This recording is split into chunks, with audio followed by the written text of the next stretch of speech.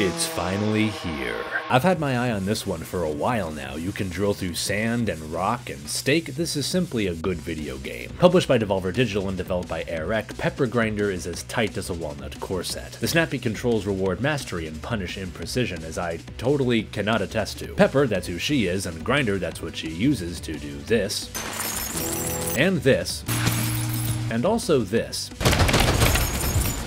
is after her treasure. It got stolen, and the story's there, but what's amazing is how much control you have over a character flying across and through the map. The momentum you build by drilling and shooting yourself through space feels even better than the bangin' OST and delightful visuals convey. The game builds constantly on this central mechanic to the point that by World 3 or 4 you're chaining together all sorts of fun moves and combos, and the boss fights aren't too shabby either. Pepper Grinder isn't just well worth your time, its gameplay mechanics are really something special.